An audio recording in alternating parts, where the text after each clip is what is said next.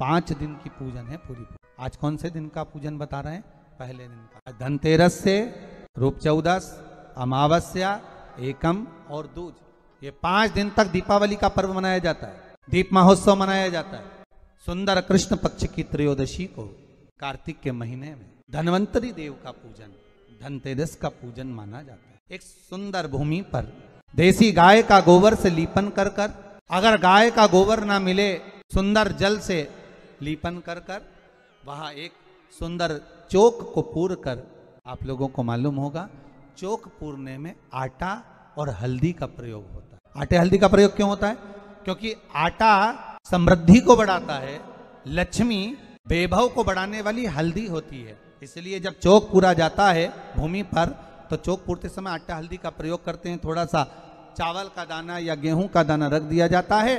उसके ऊपर एक सुंदर चौकी एक चौरंग, एक पाटा रख दिया जाता उस पाटे पर एक सुंदर लाल वस्त्र धारण करा दें, लाल वस्त्र बिछा दें। एक थाली लें, उस थाली पर कंकु से, रौली से, कुंकू से गिला कर कर स्वस्तिक का निर्माण कर। स्वस्तिक का निर्माण कर कर घर में अगर चांदी का सिक्का हो, अगर चांदी का सिक्का नहीं हो, चांदी का क्वाइन नहीं हो तो अपने घर का एक का सिक्का, दो का सिक्का, पाँच का सिक्का, दस का सिक्का, जो भी आपके घर में हो, वो क्वाइन ले लें। उसको थाली के अंदर रख दें, स्वस्तिक के ऊपर, फिर उसका स्मरण करें।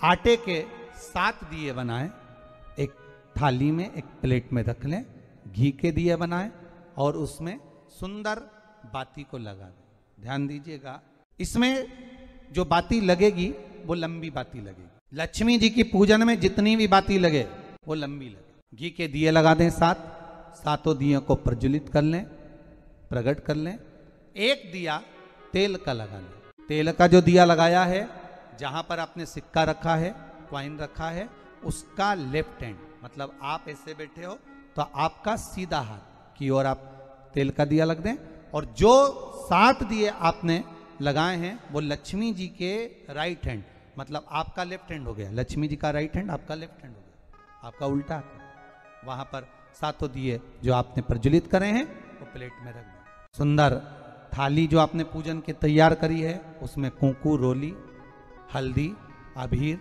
गुलाल, चंदन, मौली, लाल धागा, अमर बेल के टुकड़े, कमल गट्टे, हल्दी की गांठ, सुंदर भाव में उसको, जल का पात्र सुंदर आनंद से, जो क्वाइन चांदी का और देसी क्वाइन आपने जो रखा है, उसका जल से पूजन करें। लक्ष्मी पूजन का समय अलग अलग होता है, पर धनतेरस की पूजन का जो समय है, वो प्रदोष काल से प्रारंभ हो जाता है।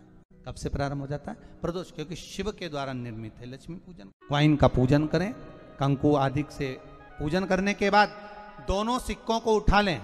दोनों क्वाइन जो चांदी का सिक्का है और जो देसी क्वाइन है, उसको उठाकर उस पर जो कलेवा है, मौली है, नाड़ा है, लच्छा है, उसको लपेटना प्रारंभ कर दें।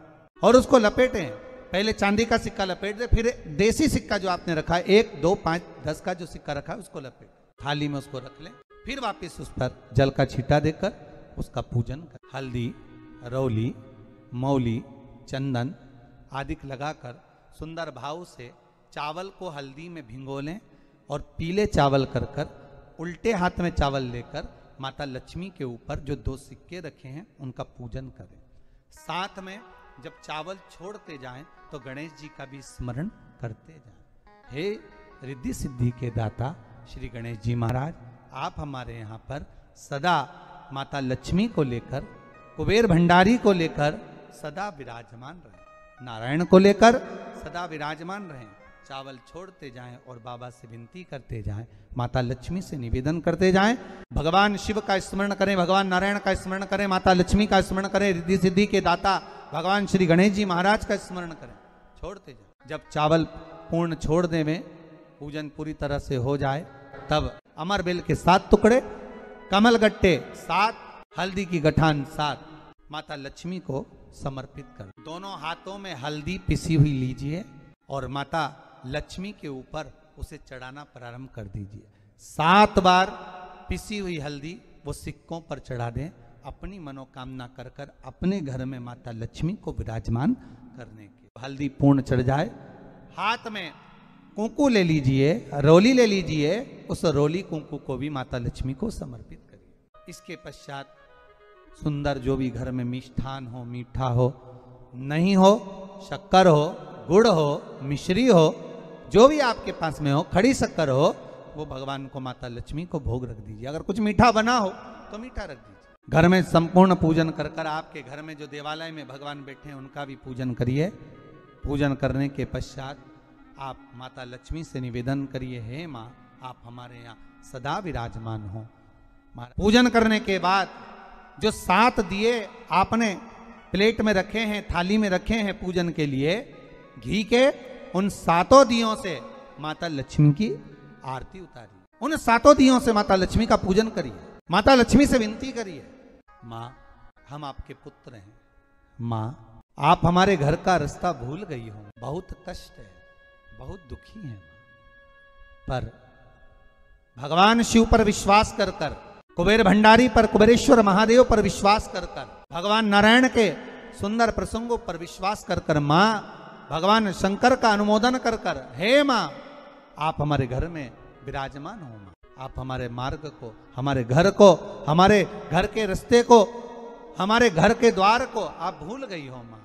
हे बेबहु लक्ष्मी, हे धन लक्ष्मी, हे संतान लक्ष्मी, हे माँ लक्ष्मी, हे धान्य लक्ष्मी, आप हमारे घर में विराजमान सात दीप जो प्रज्वलित करे हैं, उससे माता की आरती उतारिए, फिर माता को झोली पसार कर, प्रणाम कर कर भूमि पर नमन करो।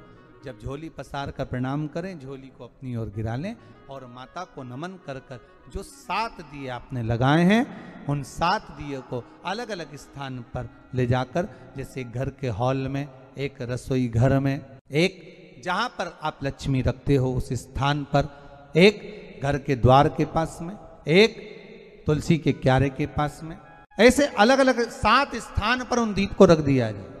एक भगवान का जहाँ पूजन हुआ है, लक्ष्मी की जहाँ आराधना करिए एक दीप वहाँ पर भी रखा जाए, जो तेल का दिया लग रहा है, उसके पास में फिर कहेंगे, तेल का दिया माता लक्ष्मी के उल्टे हाथ पर और घी का दिया माता लक्ष्मी के सीधे हाथ मतलब जो सिक्के आपने रखे हैं, उस सिक्के का उल्टा हाथ, तेल का मतलब आपका सीधा हाथ होगा, जहाँ तेल का दिया रखाएगा और जहाँ आपका उल्टा हाथ होगा, जहाँ पर घी का दिया लगाएगा। वहाँ माता जी का सीधा हो गया, आपका उल्टा माता लक्ष्मी से निवेदन कर करिए हे माँ, कृपा सागर, करुणा सागर माँ, आप भगवान विष्णु के साथ विराजमान हो। आप भगवान नारायण के साथ में हमारे यहाँ सदा विराजमान हो माँ, ऐसी कृपा कर दी। माँ से विनती कर कर बड़ा उत्साह, बड़ा उमंग, बड़ा आनंद रखना, ये भाव रखना घर में।